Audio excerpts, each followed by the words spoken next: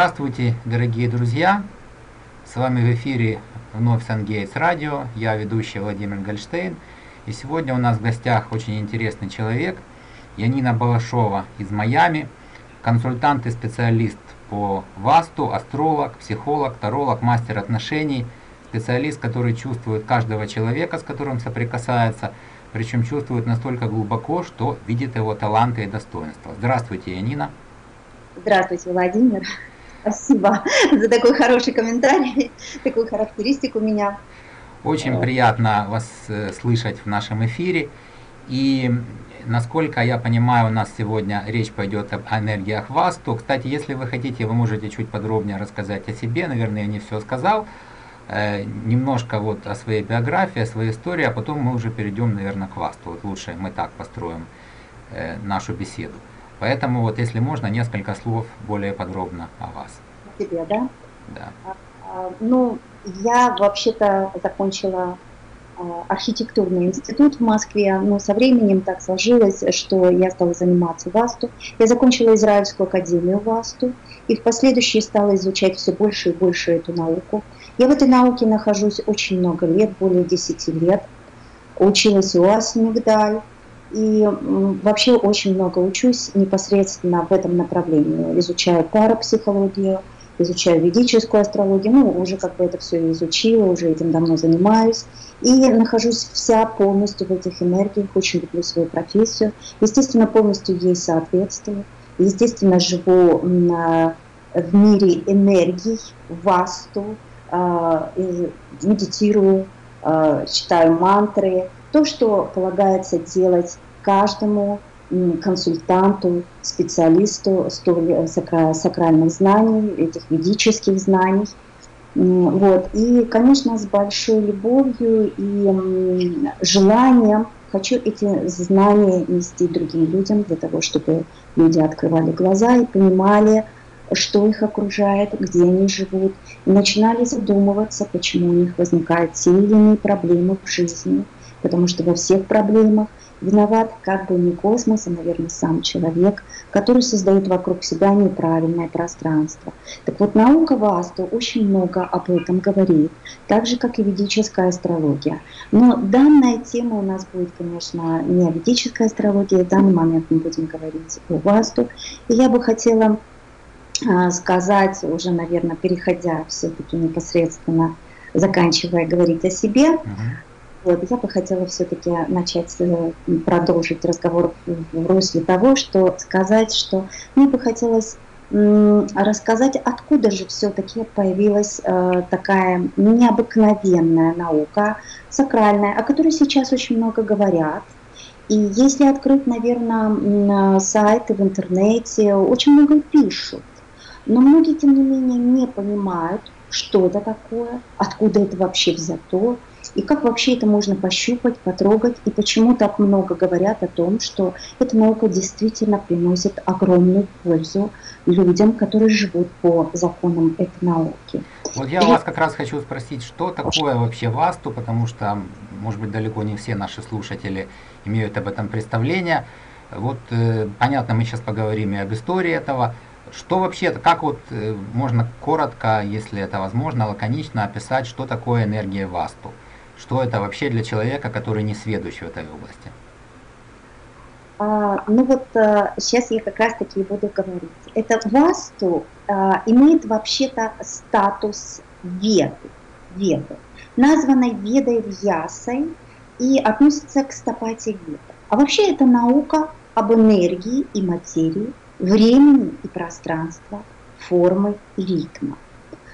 Это васту это вообще как васту, это тонкое пространство. Но есть такая формулировка, как ваасту, с двумя а буквами. Угу. Это материальная пространственная форма. То есть вы понимаете, васту это тонкое пространство, то, что невидимо человеку глазом, то, что человек не может пощупать и потрогать. А ваасту это материальная пространственная форма, то, что человек может потрогать, пощупать, и реально прикоснуться, потому что это наши стены, спальни, это наши здания, наши помещения, в которых мы живем. И вот это и есть как раз соединение Васту и Ваасту, это и есть часть стопатия Веды. Веды всем известное ну, слово, да, в переводе санскрипта, это знание. И все это называется Васту Шастра – так вот, васту шастра, васту шастра – это прикладная наука, которая является грамматикой видимых форм для звуковых форм, для звуковых форм. Понимаете, да? Вот видимые формы и звуковые формы. Mm-hmm. То есть, что мы говорим, что все, что мы излучаем – все, что мы слушаем, делаем, даже вплоть до того, что если в семьях ругаются или включена громкая музыка, то уже меняется энергетика самого помещения. И вот это вот соединение васту васту э, приводит э, к науке, которая называется васту э. И ну, сама эта наука вообще, вот стопати Веды, она принадлежит к тамильской культуре. Это очень древняя тамильская, очень древняя, очень древняя культура. История Стапати Веды уходит своими корнями на 25 тысяч лет назад. Она уходит в Сангам.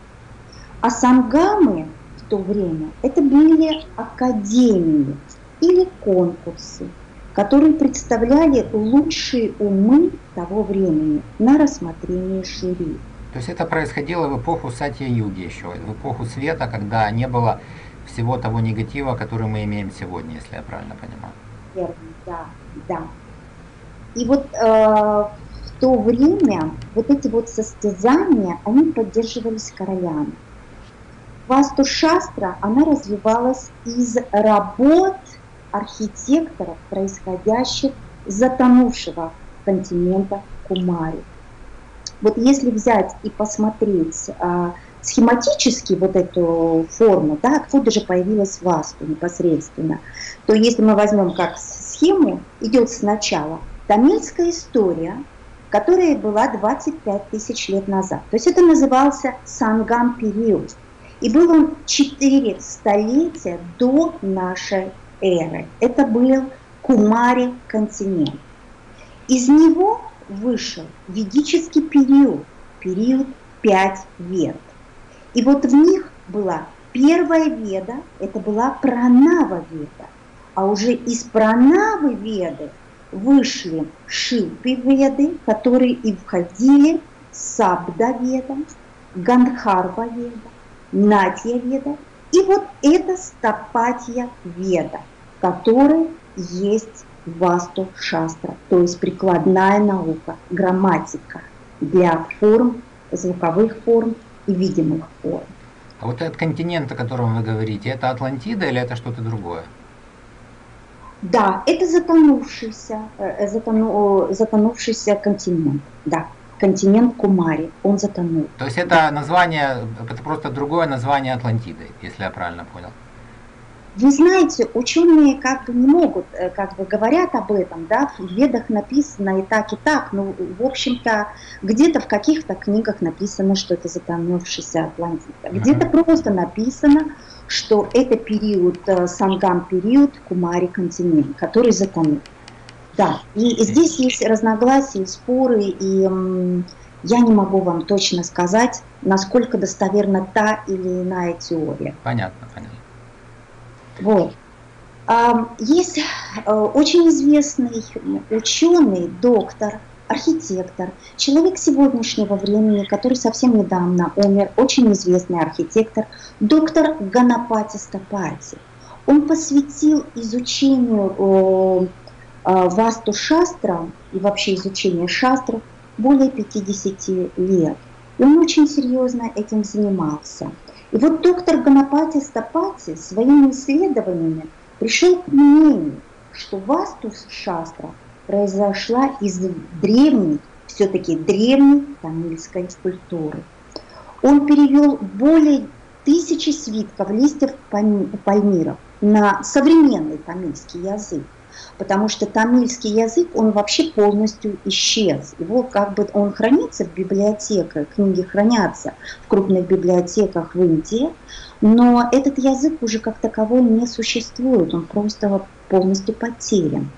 И ну, есть современный тамильский язык. И вот доктор Ганапати Стапати практически всю свою жизнь посвятил переводам э, вот этих свитков, в которых было написано, описано, что такое э, васту шастра, и все эти на, э, техники, все эти законы, которые относятся непосредственно к науке васта.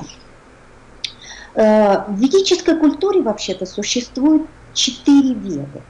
Это э, Рик Веда, Яжур Веда, Сама Веда и Адхарва, Адхарвана Веда. И доктор э, Стапати считает, что пранава вед, вот я вам говорила, пранава веда, которая появилась, из которой вышла уже Стапати веда, он считает, что она существовала еще до появления вот этих четырех вед. И тантрические тексты считаются древнее вед.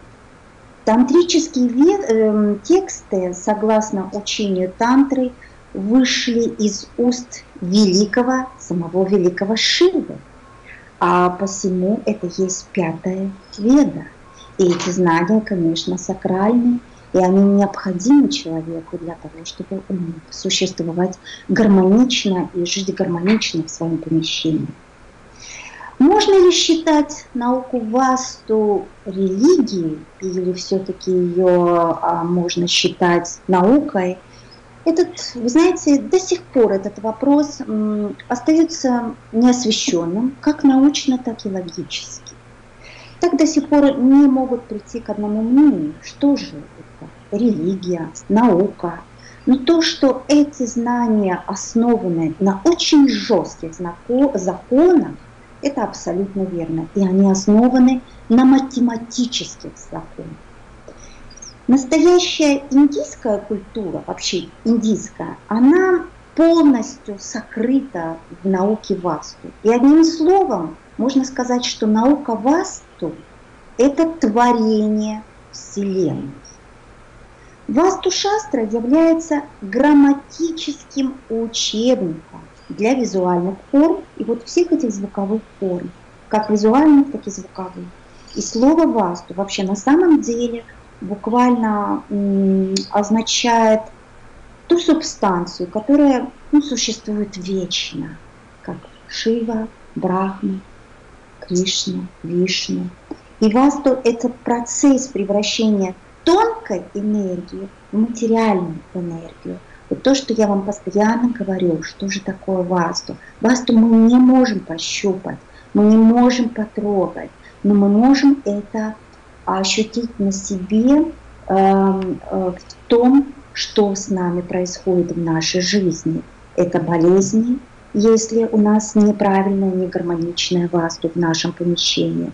Это скандалы, это разводы, это потери денег, потери работы, много-много таких вещей, о которых человек даже не подозревает, что это все влияет на него, а, только потому, что у него неправильно спроектировано помещение, в котором он живет. И поэтому считается, что хорошие благополучные помещения, построенные правильно по законам Васту, даются человеку по его хорошей карме. Янина, а поясните, пожалуйста, вот насколько я понял, э, ну, близко к Васту находится наука фэншуй. Так ли это или, или не так? Это действительно так. Близко к Васту находится фэншуй, но Васту намного древнее, да, вы поняли, да, откуда идет Васту. Mm-hmm. И сам владыка Шива выдал всю информацию о законах Васту. А фэншуй, он просто, э, он как бы был взят частями от этой науки, и китайцы его переделали под себя на свой лад. И та и другая наука действительно работает на гармонизацию энергии внутри помещения. Но васту – это та наука, э, которая э, которая помогает э, человеку гармонизовать помещение здесь и сейчас и навсегда. А фэн-шуй, вот знаете, как на полчаса. Ну, вот, как таблетка, да, которая как, да, снимает симптомы. Да, да, да. Китайцы молодцы, они быстро определились в этих знаниях. Они, дело в том, что знания-то эти были васту сакральные, они были закрытые. Они предназначались только для брахманов, для королей, для избранных. И когда брахманы были гонимы, эти знания у них вырывали э, вырывали пытками, деньгами, ну, ну, как получалось, mm-hmm. да. И поэтому э, китайцы получили эти знания урывками. Они из этих знаний сделали то, что они могли сделать. Они сделали тоже все правильно, все хорошо, но их знания не долговечны. То есть специалисты фэншуя, допустим, владельцы крупной компании, бизнеса какого-то, надо приглашать периодически, знаете, ну хотя бы раз в году. Специалистов, специалистов вахту Э, бизнесмену, его крупную корпорацию надо пригласить только один раз. И специалист делает такую корректировку, которая уже больше не нуждается в помощи, потому что а, васту так, э, так основана на таких законах, что делается один раз, и это всегда все держится. Ну, если, естественно, не поменяли помещение, потому что законы основаны внутри помещения, понимаете, да, они отталкиваются, они основаны на архитектуре здания. Вообще это, конечно, э, знание об архитектуре помещения. Но так как сегодня в век Кали-Йогу наши здания построены не по законам ВАСТу, а построены как-то как, естественно, никто не следит за тем, что такое вообще ВАСТу, никто же не знает. Это, ну, сейчас еще более-менее стали говорить. Но это не значит, что здания стали строиться по законам ВАСТу. В Индии, да, сохранено это, и в Индии пытаются строить по законам ВАСТу архитектурные здания уже изначально. А здесь приходится специалисту ВАСТу приходить в то помещение, которое уже существует, приходить в это помещение и пытаться в этом помещении производить корректировку. Но если сантехнические узлы находятся где-нибудь в центре помещения, как это сейчас стало модно делать ванные комнаты, или кухонные гарнитуры в центре помещения, то это катастрофа для жителей помещения. Или плита Они... рядом с холодильником. Вот да, холодильником. Это тоже все не очень хорошо. И специалист ВАСТу помогает эм, как бы гармонизировать это все. Практически на сегодняшний день невозможно гармонизировать без инструментов ВАСТу. Есть инструменты ВАСТу, это, это специальные янтры. Вот я как раз хотел спросить у вас, ну вот, допустим, человек, ну условно я, обращается к вам и говорит, вот пожалуйста, посмотрите помещение, в котором я обитаю, на предмет э, наличия или отсутствия блоков энергии и насколько оно гармонично с точки зрения вас. То как именно, вот очень интересно, как именно этот процесс происходит, чем именно вы пользуетесь. Вы начали уже вот говорить, если можно, давайте чуть подробнее эту тему осветим. А когда приходишь в помещение, в первую очередь, конечно, смотришь входную дверь и в каком секторе она находится. Любое помещение разделено на 8 секторов, так как вот я хотела как раз сказать о последствии Авасту Пуруша Мандала. Это некая решетка, которая разделяет помещение на 9 квадратов. Вот. Также, кстати говоря, вся наша Вселенная, наша Земля, она разделена тоже на долготу, широту. Это и есть как раз-таки та э, Васту Паруша Мандала. Очень серьезная решетка. Если она дисгармонична, не гармонизирована, то у человека возникают большие проблемы. И вот когда я прихожу в данное помещение какое-то, ну, во-первых, очень сильно чувствуешь энергетически, э, вообще есть ли напряжение в помещении, ну и начинается, конечно, работать, работа в первую очередь с компасом. Выясняется сразу 8 сторон света, такие как север, юг, запад, восток и дополнительные все это северо-восток, юго-восток, uh-huh и так далее, все восемь сторон света. И по этим сторонам света определяется, где центр помещения. Этот центр помещения должен быть обязательно свободен. Если на нем что-то стоит, или если там есть стены или еще что-то, как я говорила, ванные комнаты, туалетные комнаты, там кухонные гарнитуры, не дай бог там кровать, это очень плохо, потому что в этом, в этом центре, в, этой, в центре живет Валта Пуруша, о котором я тоже впоследствии немножко хочу сказать. И это называется то, что человек нарушает законы гармонии, единения природы и человека. И таким образом у человека происходит нарушение очень сильно. И если я вижу, что главная дверь, к сожалению, по карме, у него находится в юго-западном секторе, одном из самых неблагоприятных секторов а, это значит уже говорит о том, что человека могут сопровождать очень большие потери и неприятности в жизни, до смерти близких. Если у него дверь находится в западном секторе, что я встречаю очень часто, вы знаете, здесь в Майами почему-то какой-то бич, я очень часто сталкиваюсь с тем, что прихожу к людям, они начинают жаловаться на то, что у них бесконечные суды, бесконечные суды, суды, суды. Я первое, что проверяю и обнаруживаю, что дверь, входная дверь находится в западном секторе. И я понимаю, что да, отсюда суды. Вы понимаете, каждый сектор отвечает э, за свою сферу деятельности. Вот самая благоприятная входная группа – это в северо-восточном секторе, потому что там планета Юпитер – и эта планета благословит человека, эта планета открывает много возможностей для человека, начиная от материальной платы, заканчивая здоровьем. И пока говорили, я вспоминал, куда смотрит моя дверь, и вспомнил, что все-таки больше на север, там больше в северном секторе. И дверь комнаты, в которой я вот сейчас больше нахожусь, тоже на север. Поэтому Прекрасно. У меня, у меня вроде все как более, хотя бы в плане дверной группы все более-менее. Вы знаете, северный сектор – это планета Меркурий. Это бог курьера, бог богатства. Он благословит всем бизнесменам. И если у вас входная группа, входная дверь на севере, это просто тоже человеку помогает материально. И вот такие вот тонкости большое имеют значение. Э, я сталкиваюсь просто с этим практически каждый день, вижу, как страдают люди, у которых, в общем-то, все неправильно в квартире. И когда я начинаю вешать инструменты, которые помогают им, а инструменты это янтры, которые вешаются по сторонам света.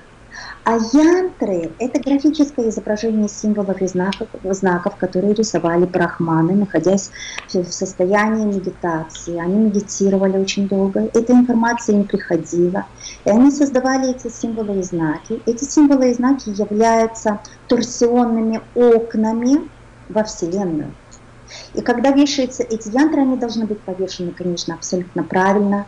А, исключаются какие-то нарушения, в установке этих яндров, потому что это может привести только к худшей ситуации в помещении. И вот когда они устанавливаются, получается так, что помещение э, жителя, ну, дома, квартиры, бизнеса, а, вот, у него, получается, со всех сторон, со всех восьми направлений открываются окна, и все аватары и полубоги начинают наблюдать за этим человеком и либо помогать ему, либо представьте себе даже где-то его наказывать для того, чтобы человек приходил к духовности. И человек через испытания начинает проходить, эм, приходить, проходить испытания и приходить к духовности, и потом его начинает очень сильно беречь, понимаете, ему начинает помогать, э, откуда-то какие-то удачи приходят, болезни проходят. То есть человеком начинают активно заниматься высшие силы, скажем так. Абсолютно, абсолютно. То есть происходят такие изменения в жизни человека. Есть люди, которые пугаются, а есть люди, которые это благословенно принимают, а есть люди, которые вообще чисты духовно очень, и янтры им очень-очень сильно помогают. И они начинают прямо такие цвести и расцветать. Вот такие вот сильные инструменты. Вот. Э, так что э, можно сказать, что, конечно, есть еще васту, васту пирамиды, есть мирочек, ну, в общем, есть а, ряд. Подскажите, вот у меня еще один такой очень практич, практичный вопрос, э, то, о чем многие говорят, слышали, а вот с точки зрения вас, то все-таки в какую сторону света лучше спать головой? Потому что вот считается, насколько я знаю, по, может быть это из фэншуй сведения, еще откуда-то, вот лучше на север или на восток. А как это в Васту? Васту категорически запрещено спать на север, потому да. что это магнит Вселенной, планеты Земля. А человеческая голова это тоже магнит. И когда магнит накладывается магнит, на магнит происходит размагничивание, правильно, да?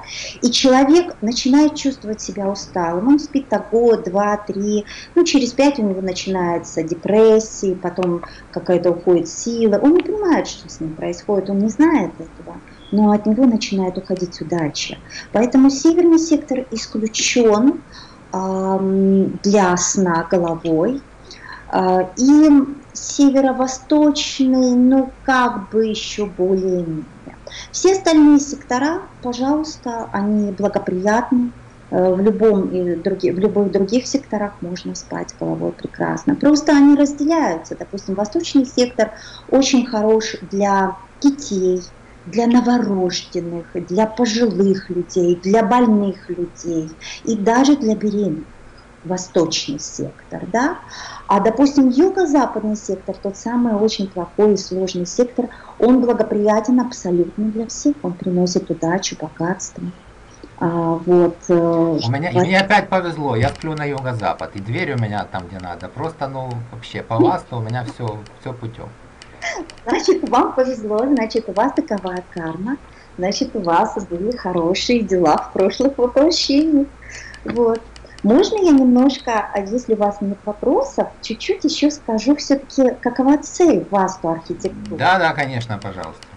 Вот. Цель васту архитектуры в том, чтобы жить в гармонии с природой и с ее основой. И вот постигнув древнюю науку, Стапати Веда человек узнает, как же все-таки, если Стапати Веда он познает, да, он понимает, как же можно спроектировать и построить целительные здания, вот как раз-таки целительные здания, которые являются объектами полного единения с природой. И вот эти ваасту, ваасту, не васту, а ваасту здания, они будут живыми зданиями, со сбалансированным потоком энергии, который создает гармонию как раз-таки между людьми, ну, когда люди между друг другом общаются, да, и между людьми и природой. И вот как раз-таки вас, то здания здоровые, они приносят и здоровье, и материальное благополучие, и духовное богатство, и счастье духовное, и очень много материальных благ человеку. И вот стопатия веды – она на самом деле содержит правила проектирования и строительства архитектурных форм. Очень важно, какие архитектурные формы.